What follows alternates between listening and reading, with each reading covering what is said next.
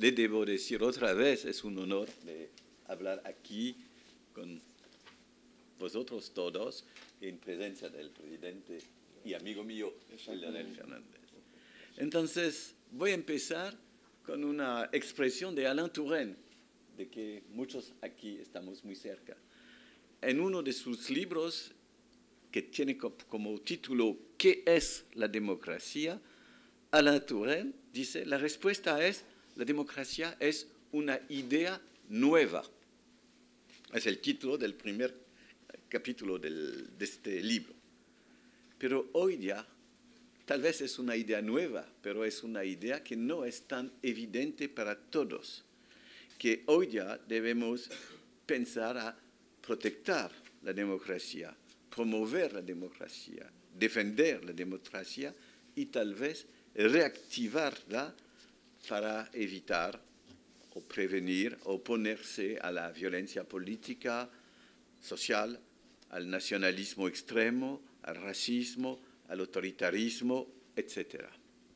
Entonces, eso es el tema de que yo quiero hablar esta mañana, empezando con una, recordando un poco de la historia reciente. Quiero empezar muy rápidamente con los años 60 o 70. En los años 60 y 70, la Guerra Fría, en estos años en la Unión Soviética o en los países que dependen de la Unión Soviética, no existe mucha gente que hablan en términos de democracia. Lo que existe era disidentes, gente que hablan en nombre de su fuerza moral, intelectual, pero que no son capaces de promover una idea de democracia, muy pocos de ellos. Al mismo tiempo, en estos años 60 y 70, la palabra democracia en esta parte del mundo, la Unión Soviética, esta palabra era totalmente pervertida. ciertos países se llaman democracias populares. El pueblo no era muy presente y la democracia tampoco. Pero bueno. Y aquí empieza a cambiar las cosas en ciertos de estos países y de mi punto de vista el más interesante es la Polonia de los años 70 y 80. En la Polonia de estos años es posible de analizar el nacimiento de tres tendencias, de tres componentes distintas que van a conversar, aproximarse. En primer lugar, hay el Papa. En 1978 hay un Papa que es polaco. Y para el sentido nacional y religioso de los polacos fue una cosa muy importante, una idea de, fuerza. En segundo lugar, empieza a construirse de nueva manera un movimiento realmente social, un movimiento obrero. Y todos aquí se recuerdan de esa imagen de solidaridad, es el nombre del nuevo sindicato, y de estos obreros de, de Gdansk y de Stettin, entonces, un sentido nacional católico fuerte, un movimiento social obrero y en los años 60 y 70 más y más fuerte, una componente que yo puedo llamar democrática, que es el hecho de los intelectuales, de los estudiantes, de gente de las ciudades que van a apoyar también esta transformación. Y en 1980 todo eso, estas tres componentes, se encuentran para dar este movimiento tan importante. Tal vez vosotros conocen la película de Vjazda, que es muy clara, de Vjazda, que es muy clara para, para eso, Andrés Vjazda. Pero en estos años 70, 80, cuando eran también las dictaduras en esta parte del mundo, en América Latina, en este tiempo, la idea de democracia era percibido de manera muy pobre. La democracia era el contrario del comunismo y de la dictadura. Era en el mundo que podemos llamar occidental o capitalista, nada más o casi nada más que el opuesto del comunismo y el opuesto de la dictadura. La, la democracia era el bien y los otros eran el mal. La democracia era la libertad y los otros era la opresión. Entonces, la democracia era más o menos evidente para los que quieren más democracia. Y por eso la reflexión de filosofía política sobre la democracia no era tan fuerte o tan nueva, no era tan vivante. Y por eso también yo me recuerdo que cuando se trataba de democracia, una palabra, una, frase muy famosa de Churchill era bastante para abrir y, cerrar el debate. La, la, digo en inglés, yo, digo, yo he dicho que no vamos a hablar inglés, pero una, una nada más, Churchill. Democracy is the worst form of government except all those other forms that have been tried from time to time. Bon, la democracia es el, la peor forma de, de, hacer, de, de, vivir políticamente, a la excepción de todas las otras. Y cuando tú dices eso, ya basta, la discusión se, se. Pero claramente hay que pensar un poco más. Antes de pensar un poco más, hay que recordar, y es el último punto de tipo histórico, hay que recordarse del declino del comunismo real y de un momento otro que el momento de Solidarność, que fue un momento importante en este declino. El otro momento claramente es la caída del muro de Berlín. Cuando se cae este muro, hay un politólogo norteamericano que hoy día es muy famoso, que se llama Francis Fukuyama, que está hablando con un amigo al teléfono y el amigo dice es la caída del, del, del muro de Berlín y Francisco Fukuyama, Francisco dice, ah, es el fin de la historia. Y después él escribe un artículo muy famoso y después un libro muy famoso. La tesis era muy simple. Con la caída del muro de, de Berlín, la humanidad está en una nueva era donde no hay alternativa a la democracia y al mercado. Yo no voy a hablar del mercado, no es mi tema, es para los economistas mucho más que para mí, pero la democracia no hay alternativa, es decir, es el triunfo de la democracia y no hay que discutir, es así. Eso era en 1989. Hoy ya, en 2019, no es cierto que no haya alternativa a la democracia o que no hay gente que piensan que hay alternativas a la democracia y después de la decomposición del comunismo real, después del fin de las dictaduras en América Latina en los años 80, hay fenómenos que necesitan realmente de pensar de manera nueva a la democracia hay límites muy claras a la democracia. Hay dificultades, hay fracasos, hay imposibilidades y no es tan claro que la democracia es capaz de superar a sí mismo, de encontrar en sí mismo los recursos para afrontar ciertos problemas.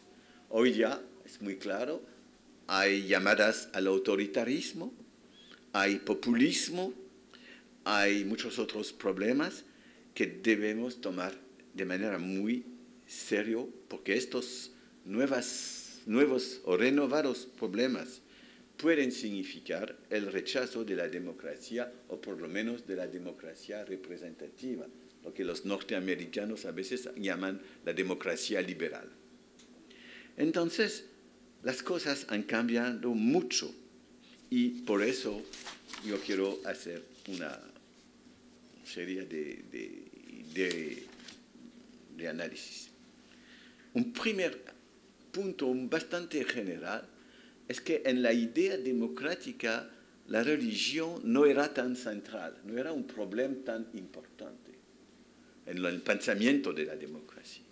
Pero hoy ya es claro que la religión es un tema crucial de la vida democrática, incluyendo en, la, en países de vieja democracia.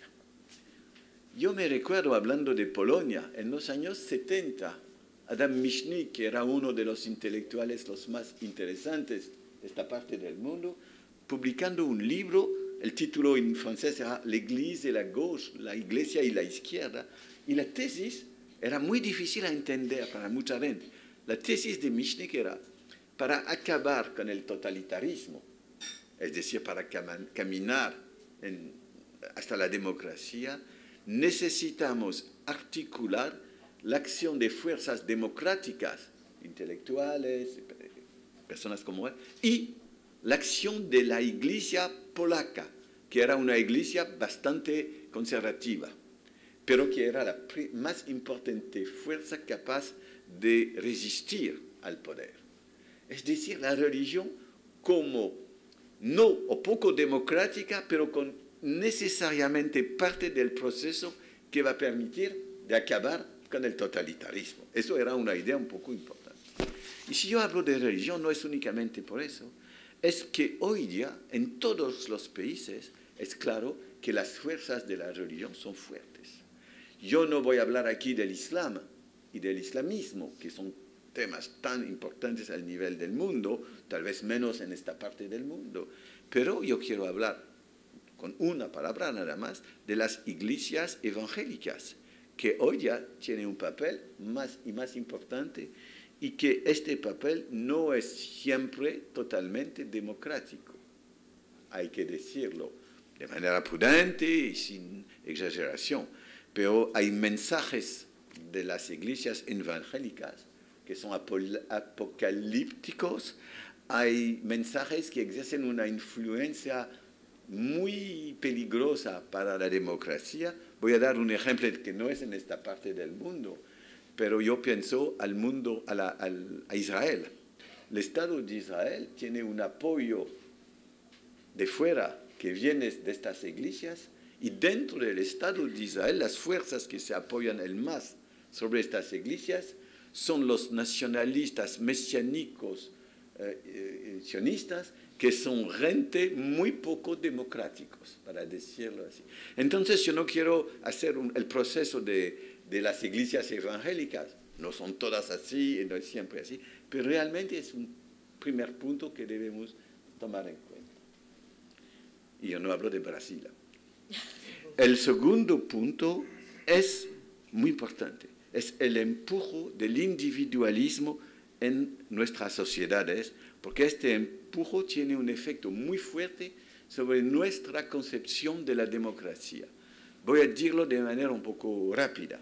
Clásicamente, cuando se trataba de democracia, pensamos en primer lugar al interés colectivo, a la vida colectiva, al vivir juntos, a la sociedad como, como tal con la idea que la democracia va a permitir a la sociedad de bien funcionar de tal manera que cada individuo puede construirse como sujeto de su existencia dentro de este cuadro. Pero el más estamos en un mundo de individualismo, el más la idea de democracia, de democracia debe tomar en cuenta el hecho que cada uno quiere ser parte de la transformación del mundo o de la transformación de la sociedad. Y que la democracia debe ser la capacidad de cada uno de ejercer, una presión sobre la vida colectiva. Entonces, pensar la democracia ayer era pensar el sistema, la totalidad y después los individuos. Hoy ya con el individualismo tan fuerte, pensar la democracia es partir del individuo de los sujetos individuales y pensar el sistema después y no antes. Son cosas muy importantes. Y el tercer punto de esta introducción un poco larga es el cambio tecnológico. No es necesario de hablar demasiado de eso, pero Internet, las redes sociales modifican mucho la vida democrática. Cuando empezamos a descubrir las redes sociales mucha gente dice, ah, muy bueno para la democracia. Las redes sociales, Internet, van a permitir más comunicación, más interactividad, más debates, es el bien. Pero más y más sabemos que también Internet y las redes sociales puede ser el contrario de la democracia, es una banalidad de decirlo así, pero que todo eso puede debilitar la representación política, puede hacer que el debate público no es realmente un debate, que hay fake news, post-truth, no voy a hablar de todos estos temas, pero es, eso es. Entonces, la crisis de la democracia es conectado también con esta ruptura tecnológica mayor que viene con las tecnologías de comunicación de, de hoy. Ahora yo quiero ser un poco más concreto para hablar de las dificultades o de los límites de la democracia. Y voy a tomar tres o cuatro puntos para ser un poco más preciso. El primer tema que me llama la atención es el tema del desempleo. En los años 50, 60, 70, por lo menos en la parte del mundo donde yo vive, el desempleo no era un tema, no era un problema. Y estaba en un momento de crecimiento económico, con un desarrollo industrial muy fuerte, basado sobre el Fordismo, el Taylorismo.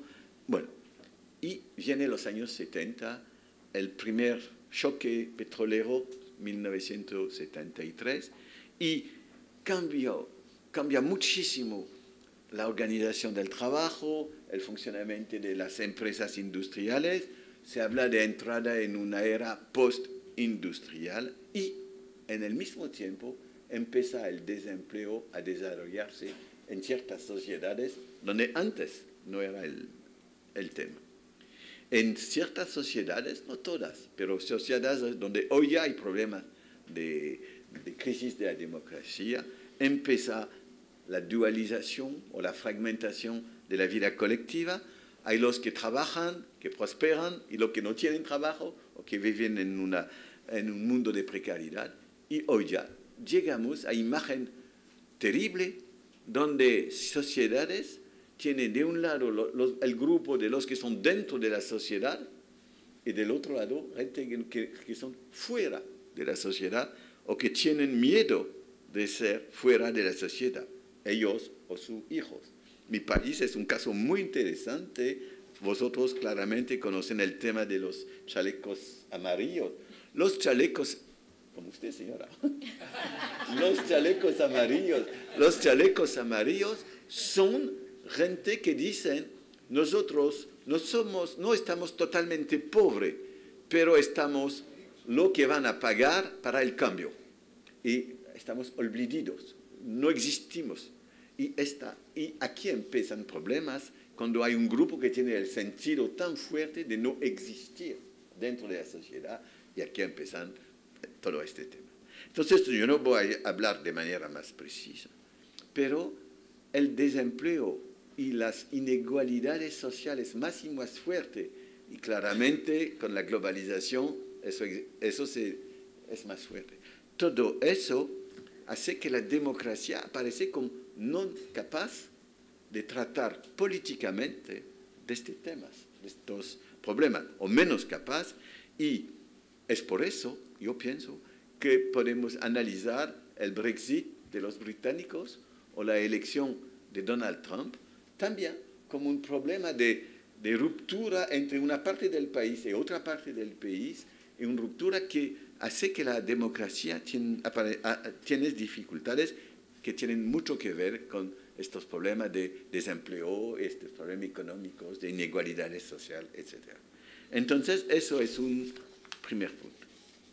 Un segundo punto que dice que también que hay dificultades para la democracia representativa es todo lo que está conectado con las minorías culturales y religiosas. La democracia liberal es más capaz de reconocer individuos con sus derechos y sus deberes que de reconocer identidades colectivas minorías. Etnicidad, nueva religión, diferencias culturales de origen nacional. Y aquí hay dos problemas y no uno. El primer problema es, es cuando se desarrolla en un país una reivindicación nacionalista fuerte de una minoría. Fue el caso de manera reciente en Escocia, ¿se dice así? En Escocia, con el Reino Unido, y hoy ya lo vivimos en los periódicos todos los días, en Cataluña con España.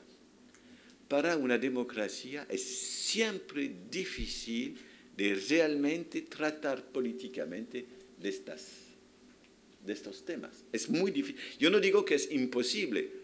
Cameron se sale bien del tema escocés. No, o no tan mal no tan mal. Pero bueno, en el Canadá, con el Quebec también, la salida no fue tan mal. Pero hoy ya el caso español y catalán es impresionante. Es decir, es un problema.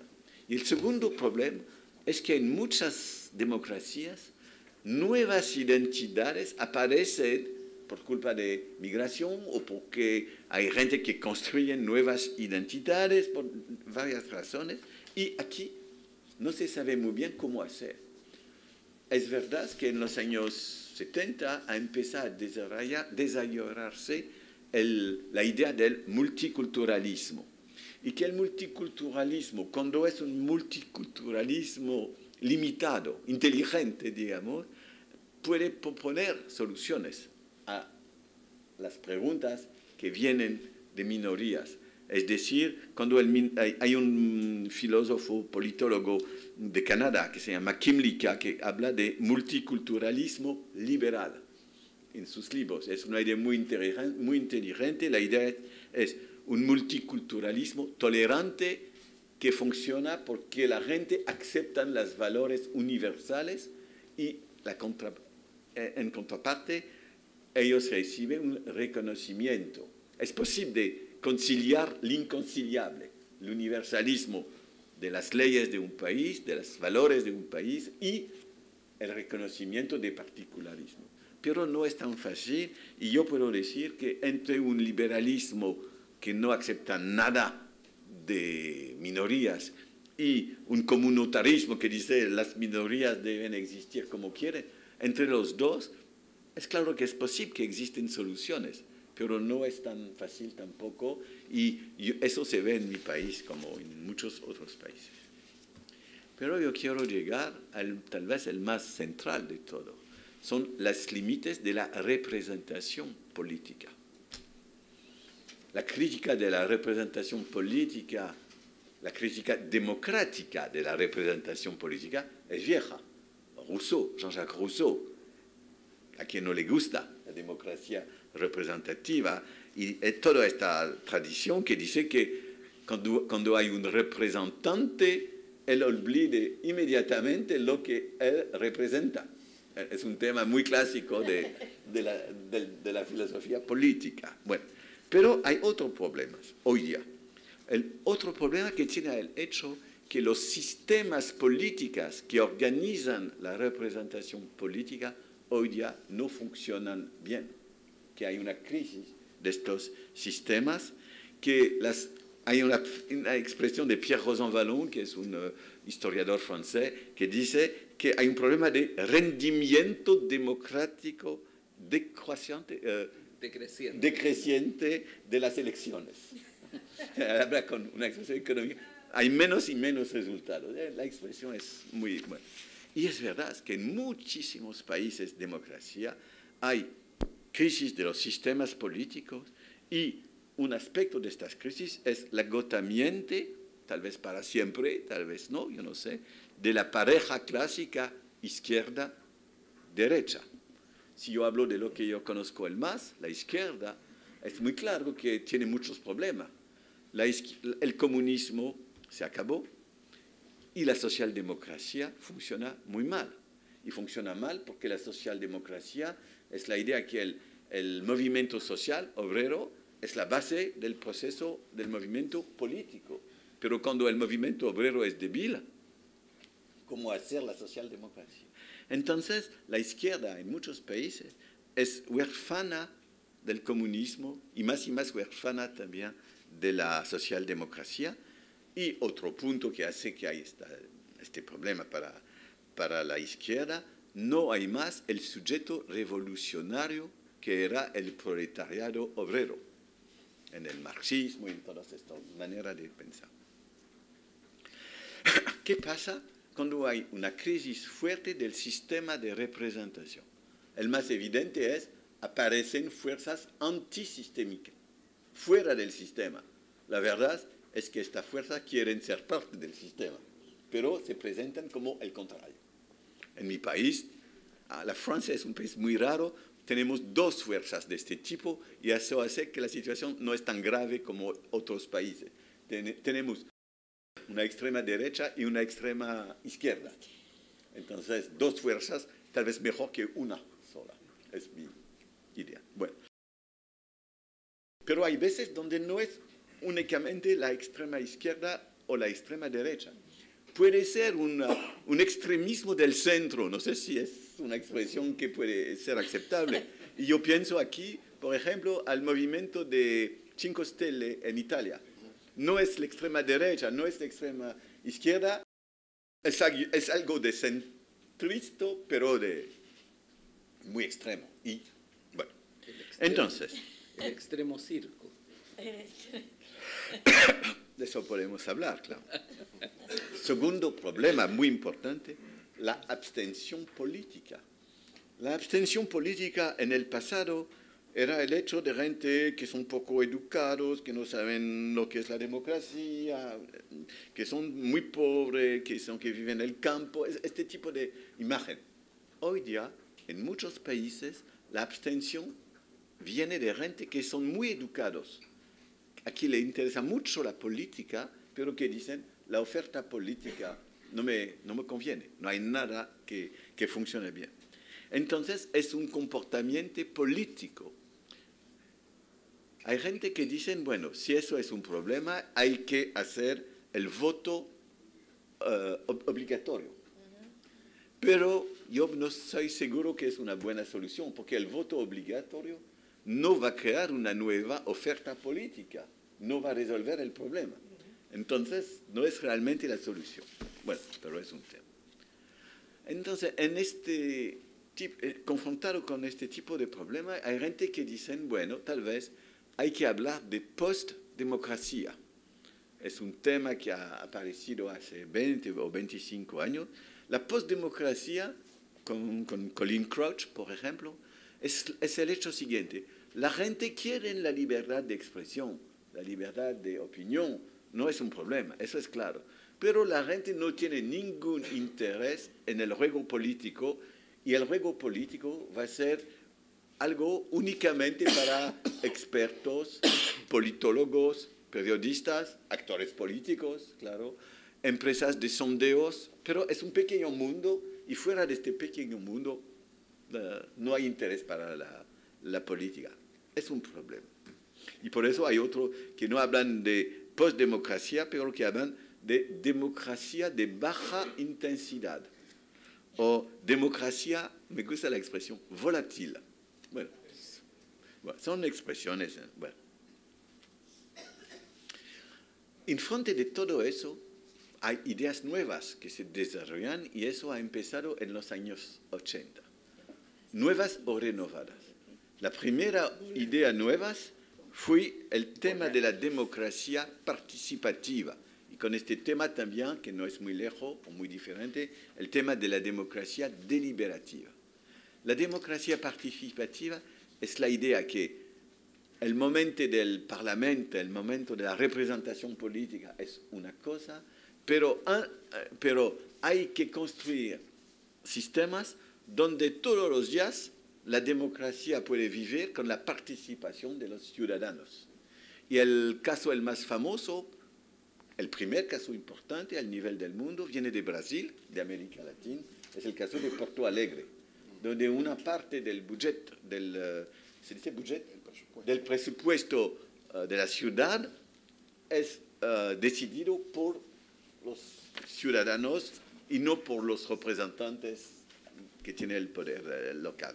Entonces, pero hay muchas otras posibilidades para organizar la democracia deliberativa participativa y en los años 80 y 90 hay muchas reflexiones de filósofos. El más importante tal vez es Jürgen Habermas, el, filósofo alemán, que habla mucho de, de eso. Pero hay límites, hay límites a eso porque no hay democracia participativa si todos los ciudadanos no quieren participar, si todos los ciudadanos no tienen el acceso a la información, si todos los ciudadanos no son capaces de participar en este tipo de, debate. Hay mucha gente que no saben o no quieren participar. Hay límites. Y la otra manera de renovar o de pensar la democracia no es una manera nueva, pero es, es un tema muy importante, es la idea que hay que olvidar la representación política, saltar del pueblo al poder directamente. Eso es lo que se puede llamar la democracia directa. Los populistas siempre les gusta mucho la democracia directa, es decir, no parlamento, no poder de este tipo. Y eso son cosas muy importantes porque hay países donde funciona bastante bien esta idea, es la Suiza, con lo que ellos llaman, yo hablo en frente de sus representantes, votación, es eso, ¿eh? c'est la votación. funciona bastante bien, pero la democracia directa puede funcionar muy mal. Y el caso del Brexit es aquí un tema muy interesante. Fue un referéndum el Brexit. un referéndum y la campaña del Brexit fue una campaña de fake news, de mentirosas, de sin que se construya un debate serio como puede construir tal debate, uh, cómo se puede construir al Parlamento. Entonces, hay problema. Hay que decir que con Internet y con las redes sociales, con las tecnologías de comunicación, tal vez es más fácil de imaginar más democracia participativa o también democracia directa. Pero no, yo no pienso que es la respuesta o la solución. Yo tengo dos otros temas antes de ir a mi conclusión. Un otro tema, una otra dificultad de la democracia, la puedo llamar los dilemas de la, soberanía popular. Para decirlo muy rápidamente, es democrático de pensar que si el pueblo quiere darse a una fuerza política que no es democrática, hay que impedirlo. Es un problema. Es un problema. ¿Qué hacemos cuando en muchos países las fuerzas no democráticas son realmente elegidas? Que el proceso político llega a que el poder sea más y más autoritario y menos democrático. Es un problema bastante clásico, pero hoy día me parece que es un problema central para, para nosotros. No voy a hablar más de eso. Un otro punto es que la democracia hoy día no sabe muy bien cómo defenderse cuando hay una amenaza fuerte que viene de fuera o de dentro, que es real o que es mm, eh, imaginada y el caso el más importante es el caso del terrorismo. Mira a los Estados Unidos. Después de los atentados de, de 2001, del 11 de septiembre, viene el Patriot Act, que fue votado en octubre 2001, un mes después, y renovado por el Congreso dos veces. Es, son, es una ley que limita las libertades individuales, que limita los derechos de la defensa.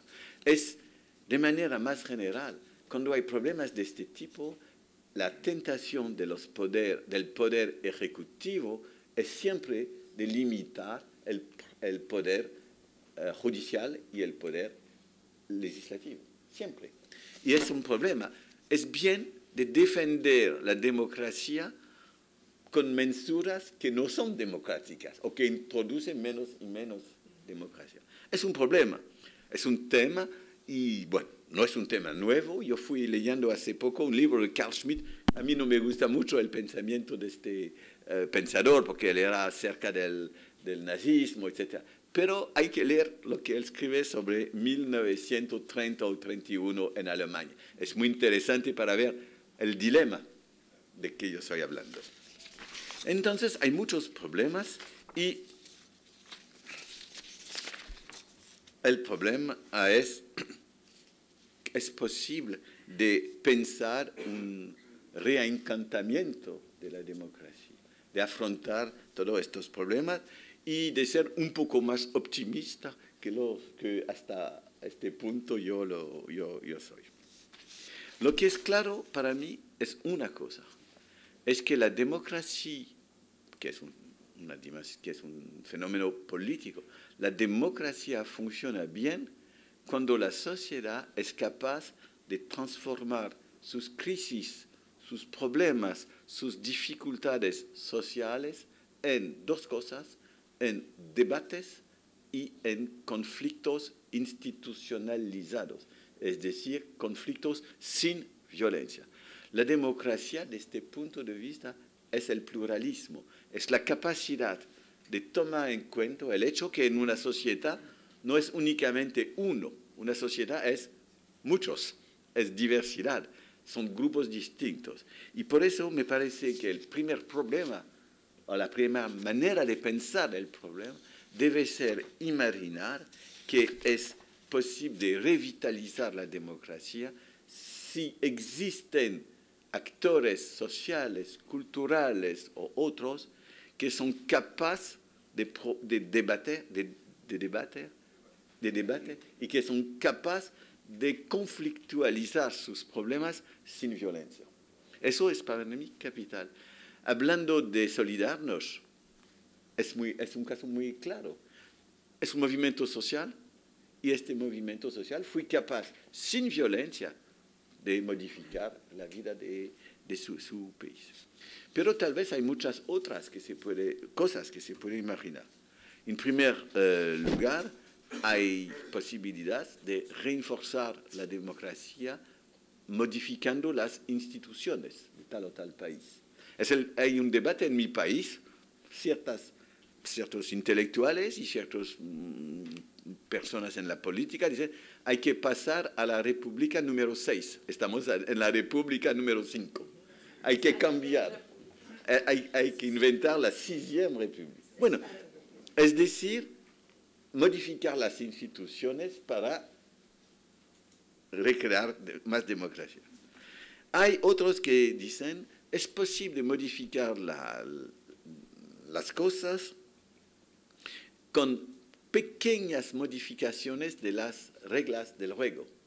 Yo tengo el, caso francés. Hay gente que dicen, por ejemplo, hay que acabar con el cúmulo de los mandatos o hay que modificar las reglas de, voto, introducir la, lo que llamamos la proporcionalidad, o modificar las cosas si se trata de las mujeres. En mi país hay una ley reciente sobre la, la paridad. Los partidos políticos donde no hay bastante mujeres deben pagar multas o no recibir todo el dinero que... Bueno, son cosas que son pequeñas modificaciones, pero que pueden, bueno, modificar las, las cosas. Pero me parece que aquí el hecho es que hay dos maneras de pensar el reencantamiento de la política. De un lado, conectar este reencantamiento con un análisis de la sociedad, de sus actores, de sus fuerzas sociales, de las demandas que surgen de la sociedad. Y la otra manera es de modificar el sistema como sistema, institucionalmente o, o de manera más más limitada. Aquí voy a decir una palabra sobre una experiencia que me, interesa, que me interesa mucho. Es el caso español. Yo no, yo no me enamoré de Podemos, hay, hay que decirlo claramente, pero es muy claro. Podemos existe porque antes vienen los indignados del 15M. Un movimiento social y cultural que dice hay que cambiar el mundo hay que cambiar la sociedad. Y después viene gente que dice, bueno, vamos a transformar este movimiento social en fuerza política. Yo no entro en todas las discusiones. Lo que me interesa es que el cambio político tiene que ver con el, la existencia de un actor social fuerte. Después se puede criticar mucho Podemos, pero, pero eso es otro problema. Entonces, lo que me parece importante es que es de saber que si queremos reencantar la democracia, debemos escuchar todo lo que surge en una sociedad que es capaz de introducir debate y conflictos y de, y, de ser actores de una vida más vibrante desde este punto de vista. Y para acabar, si yo tengo cinco minutos, para acabar yo quiero ser un poco más optimista hablando de un tema que es el siguiente. Cuando mucha gente dice la democracia es en crisis, la representación política tiene problemas, es, verdad. Pero si miramos al mundo durante los 50 o 40 años, hay también muchos progresos de la democracia. Los, tal vez los más interesantes no son al nivel del Estado nacional, son encima o, eh, dessus, arriba o, o debajo, debajo o arriba. Debajo, dos o tres casos. En primer lugar, al nivel el más pequeño, la familia. Claro que hay familias terribles en el mundo, sin padre o sin madre, etc. Pero la familia clásica es más y más democrática. La vida familiar es más democrática. El hombre no tiene el poder absoluto, la mujer existe. Los niños no existen en la familia clásica. Entonces, Laura le sabe bien. Entonces, lo que quiero decir es que hay progreso a este nivel. En las instituciones, hoy día las instituciones autoritarias funcionan mal, incluyendo las Fuerzas Armadas. Me interesa mucho el tema siguiente, que un militar, un, soldado, si los órdenes no son éticos, no son morales, puede decir, yo no voy a hacer eso es en muchos países, cuando antes eso no era posible. Es decir, introducir no la fuerza, bueno, las Fuerzas Armadas no pueden ser lugar de democracia permanente, pero el espíritu democrático, incluyendo en las Fuerzas Armadas, pero en otras instituciones, muy claro, en la, en la educación. En la educación, hoy ya es claro, no hay que decir que los niños deben hacer todo lo que quieren, pero es claro que la educación debe introducir la capacidad de actuar de manera democrática como ciudadano, que la educación debe tomar en cuenta el hecho que cada niño es un sujeto y no únicamente un, individuo abstracto. Es decir, a este nivel, encima del nivel del Estado nacional, me parece que hay lugares donde hay más democracia. Y el otro punto muy importante es el nivel supranacional hay, formas de vida democracia al nivel supranacional. Vamos a hablar de la Europa con, Jan eh, más tarde, pero eh, la Europa es un espacio supranacional democrático. Hay muchas críticas, claro, que hay gente que dice que la, Unión Europea es muy tecnocrática, que la democracia es muy lejos de la gente, este, pero es democrática. Y hay una vida internacional donde hay más y más presencias de, temas de tipo democrático. Yo pienso a la justicia internacional. Claro, no es muy perfecto, digamos, pero existe. O yo pienso a todas eh, las formas de, intervención de las NGO, de los ONG. las ONG no existen hace, en 1950 o 60 hoy ya son parte de juegos que pueden contribuir a más democracia.